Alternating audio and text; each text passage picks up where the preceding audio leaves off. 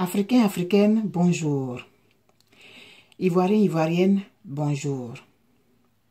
Il y a de cela un an, jour pour jour, c'est-à-dire le 15 juin 2017, grâce à la technologie, grâce à la magie de Facebook, vous avez été des milliers à me découvrir à travers la vidéo, la symbolique du ballet, qui incitait les Africains à plus de solidarité, à plus d'entraide pour un avenir commun. Et depuis ce temps-là, je me suis découvert cette passion pour l'Afrique. C'est sûr qu'elle était en moi, mais ça a été l'élément déclencheur. Et depuis, ça fait un an que je parcours ce chemin avec vous à travers des vidéos qui se veulent une promotion de notre culture, d'un pan de notre culture orale, l'observation de la nature, l'utilisation des contes pour forger le moral des populations. J'ai commis beaucoup d'erreurs en chemin. Je vous demande de me pardonner mes écarts de conduite, mes écarts de langage, mon immaturité. Je veux devenir meilleur, je veux être tel que vous soyez, que vous souhaitez que je sois, objective, mais surtout africaine. Dans ma façon de me présenter à vous, dans ma façon de m'adresser à vous.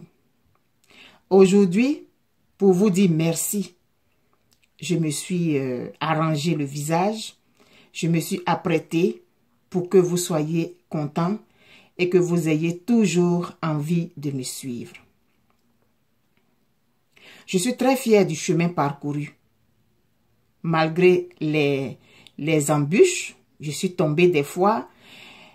Je suis contente du chemin parcouru. Et si j'ai parcouru ce chemin jusqu'à aujourd'hui, c'est grâce à vous, grâce à, à vos encouragements à travers les partages des vidéos. Et j'espère que le, 18, le 15 juin 2019, je vais faire encore une vidéo pour vous remercier pour le chemin que nous aurons parcouru encore une fois ensemble. Merci encore une fois de me pardonner. Merci d'accepter mes écarts. Merci de m'aider à grandir parce que je veux grandir encore plus. Je voudrais que cette nouvelle année encore euh, qui se présente va être encore plus riche en enseignement pour moi d'abord et ensuite pour vous. Aujourd'hui, je vais m'adresser particulièrement à la Côte d'Ivoire. Nous avons euh, appris la, la libération de M. Jean-Pierre Bemba. Et ça m'a amené à poser une certaine question que j'ai publiée sur mon mur. Est-ce que vous pensez que M. Babo Laurent va revenir parmi nous? Ce n'était pas une question hasardeuse. J'ai eu 99% des réponses. Pour ceux qui ont bien voulu se prêter à mon exercice, je vous dis merci pour la considération. 99% de ceux qui ont répondu ont dit oui. Et la plupart, ce sont des Ivoiriens.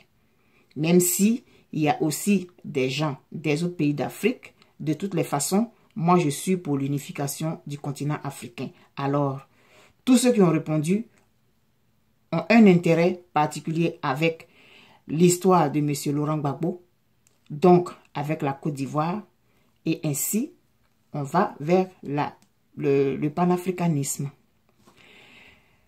Beaucoup m'ont répondu oui. C'est l'espoir de plusieurs. Certains hésitent Je vais vous raconter une petite histoire que vous savez tous, j'en suis sûre. Moi, j'ai donné, euh, j'ai quatre enfants. Donc, je suis tombée enceinte quatre fois. Quand une femme tombe enceinte, au début, elle a les difficultés. Les trois premiers mois, on va dire peut-être les quatre premiers mois, selon. C'est les vertiges, c'est les nausées, c'est la mauvaise humeur, c'est le corps qui rentre dans une sorte de branle-bas, qui ne comprend pas ce qui lui arrive, qui essaye de se, de se protéger, et c'est des désagréments incroyable pour la femme elle-même, mais pour ceux qui l'entourent. Ensuite arrive le quatrième mois, le cinquième mois, la femme commence à être bien dans sa peau, elle commence à être en forme et elle commence à faire le trousseau de son enfant. Aujourd'hui, avec la technologie, on sait si c'est une fille ou c'est un garçon. On a été influencé, donc on, se, on court vers les couleurs qui nous ont été indiquées par ceux qui nous ont colonisés. Bon, pour les filles, c'est la couleur rose. Pour les garçons, c'est la couleur bleue. Et en fonction de ça, on va choisir les habits euh, que nous allons mettre à cet enfant que nous attendons avec impatience. C'est une très belle expérience. Ensuite arrive le, septième mois. Souvent, on a peur de faire euh, un enfant prématuré. Euh, quand on a passé les quatre, premiers mois, on est un peu soulagé. On dit qu'on on va pas avoir une fausse couche. Ensuite, on a peur de de faire un prématuré. Ensuite, on arrive au huitième mois et généralement, nos mères disent, nous disent que les enfants ne naissent pas à huit mois et on arrive au neuvième mois. Le dernier mois est le plus long. On en a marre. Quand il reste deux semaines pour l'accouchement, on en a marre. On veut se débarrasser de cet enfant. On a hâte de le voir. On est lourde. On ne peut. C'est pas évident. Le trousseau, il est prêt. On a acheté des petites choses, des belles petites choses. On attend cet enfant avec impatience, avec amour, parce qu'on sait qu'il va venir. Et le jour, l'enfant vient au monde, le jour où on est délivré, on a hâte de le voir. On entend son cri. On a hâte de le voir. Et quand on le met dans nos bras, nous sommes fiers d'avoir permis à un autre être humain de venir sur la terre. Nous embrassons cet enfant. Nous le serrons très fort contre, nous. Et ensuite, nous rentrons à la maison. Et c'est le préparatif pour l'enfant. Toutes nos habitudes changent en fonction de l'enfant. Nous lui mettons maintenant ce que nous avons préparé avant sa naissance. On n'attend pas un enfant dans la colère, dans la mauvaise humeur. Il y a des, des situations où il y a des problèmes dans le couple, où la personne qui, qui est enceinte a des difficultés. Ça, c'est un autre, un, autre, un autre chapitre. Mais généralement, tout le monde attend l'enfant avec bonheur. Le papa, la, les tantes, les grands-mères, tout le monde, même les, les voisins, tout le monde attend la délivrance de cet enfant. Et quand il arrive, tout le monde est content. La question que j'ai posée concernant le retour de M. Laurent Gbagbo, beaucoup ont dit oui. Mais M. Laurent Gbagbo, il va venir.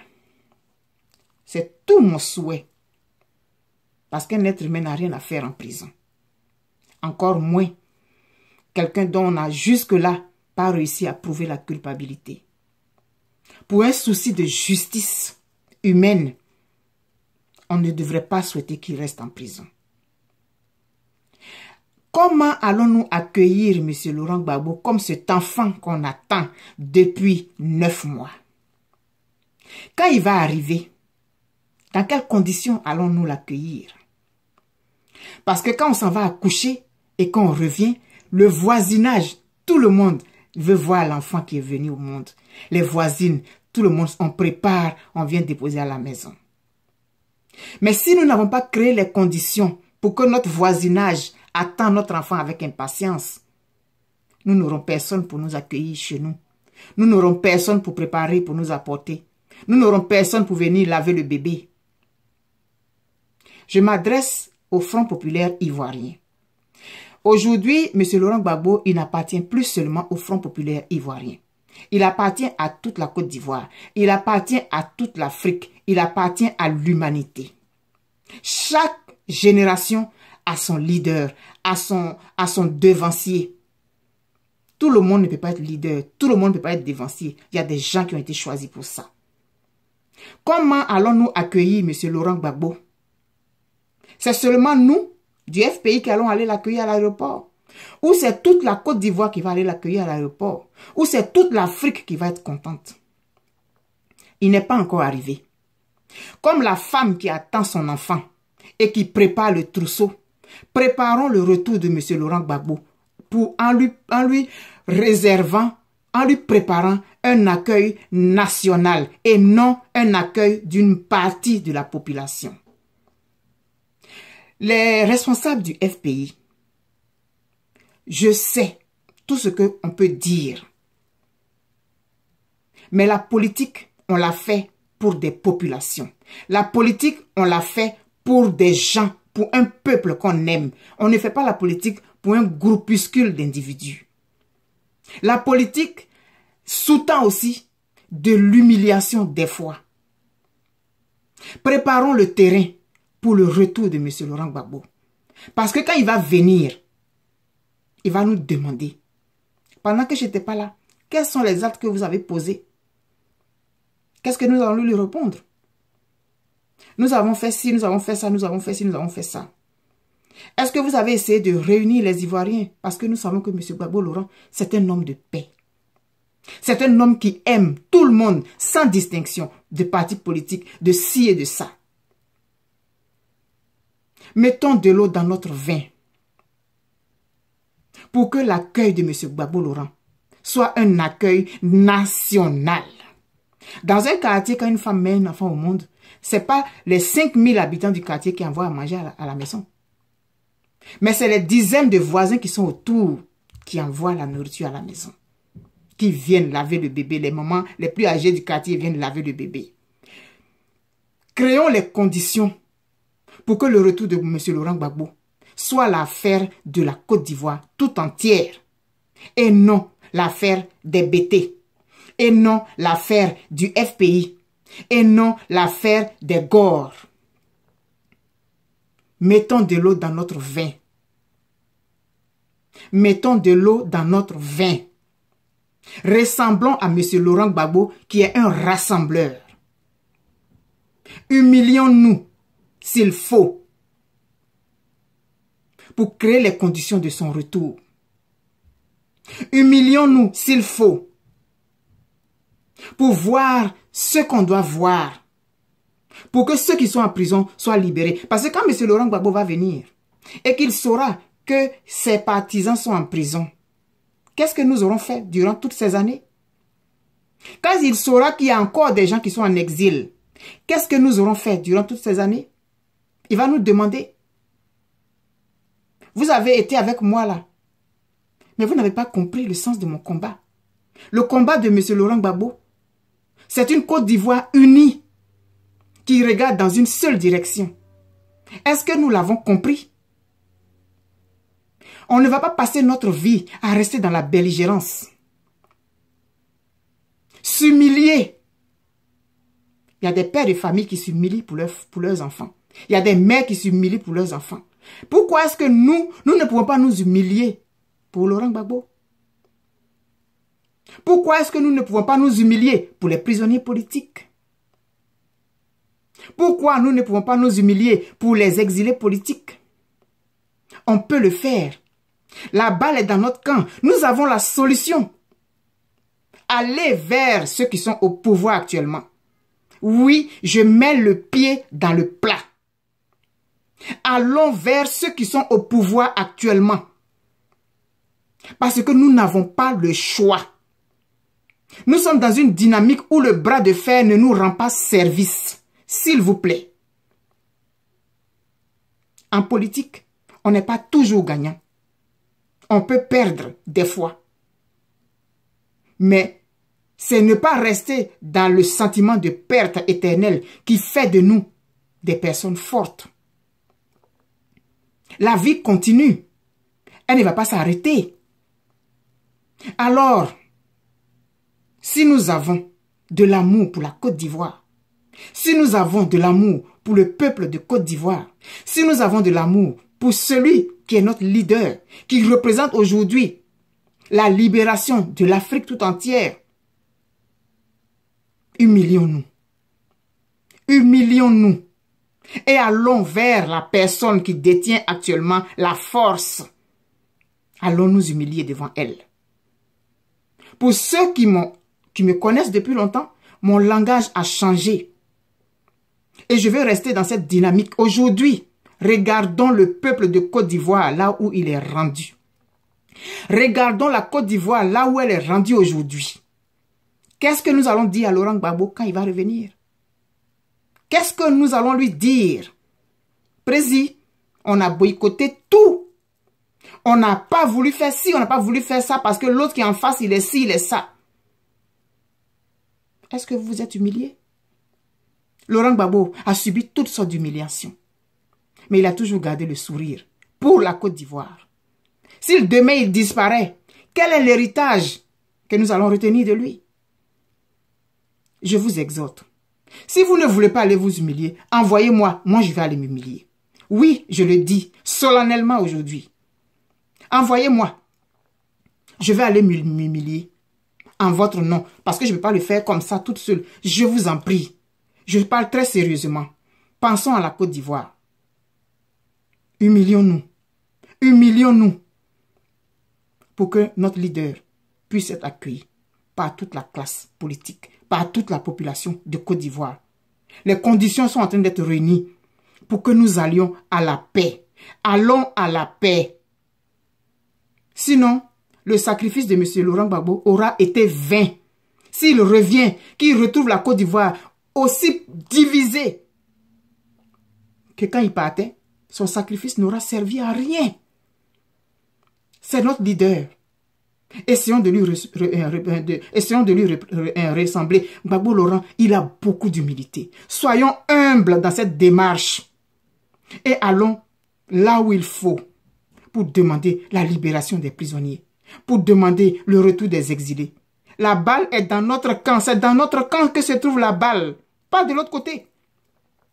C'est nous qui souffrons, c'est nous qui avons des parents en prison, c'est nous qui avons des parents à l'extérieur. Combien de mois il va avoir encore? Voilà le message que je voulais donner. Quand on attend un enfant, on fait son trousseau. On l'attend avec impatience. C'est pas le jour de la naissance de l'enfant qu'on fait le trousseau. C'est pas quand Babo va revenir, qu'on va aller l'accueillir à l'aéroport et qu'on va chercher à faire la paix maintenant. Non. C'est avant ça. Préparons son retour. Préparons les cœurs. Aplanissons les sentiers. Avant son retour. Il mérite qu'on s'humilie. La Côte d'Ivoire mérite que nous nous humilions pour elle. Voilà le message que je voulais envoyer aujourd'hui. Mettons de l'eau dans notre vin. Nous n'avons pas le choix. Faisons-le pour demain. Nous, serons, nous en serons encore plus grandis. Je vous aime. J'aime la Côte d'Ivoire. J'aime le continent africain. J'aime, j'aime l'humanité. Je vous aime. Et on va faire encore une année ensemble. Merci encore une fois de, des encouragements et de tout ce que vous m'avez apporté durant ces douze années. Merci beaucoup.